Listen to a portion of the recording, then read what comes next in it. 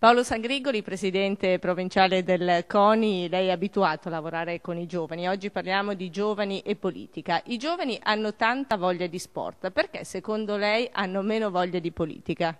Ma non è proprio così, però direi che ci vorrebbe un po' da parte delle istituzioni il coinvolgimento più pressante nei confronti dei giovani perché eh, è chiaro che non, senza avere un'indicazione, senza avere un, coinvolgim- un coinvolgimento molto importante, eh, sono più tentati a, a, ad andare a passeggio o a, a, andare al bar piuttosto che interessarsi delle cose pubbliche, cose delle quali si devono interessare perché poi cresceranno anche loro e queste cose serviranno a loro e ai loro figli.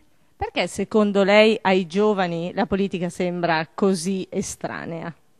Ma eh, perché eh, da, anche da parte delle famiglie non c'è eh, quell'interessamento eh, da devolvere ai figli in maniera molto eh, eh. I genitori normalmente sono preoccupati del loro posto di lavoro, di portare a casa un discreto stipendio e quindi i figli sono un po' lasciati crescere nel modo migliore con i loro amici, con il mondo della scuola e in alcuni casi anche col mondo dello sport di cui io rappresento questo mondo. Ecco, non, non, credo comunque che eh, non ci sia la volontà eh, da parte dei giovani di interessarsi di politica, devono essere solo poi coinvolti. Se saranno poi coinvolti ci sarà sicuramente eh, molto materiale da poter portare nei prossimi anni eh, alla, alla finestra di tutto il mondo costituzionale.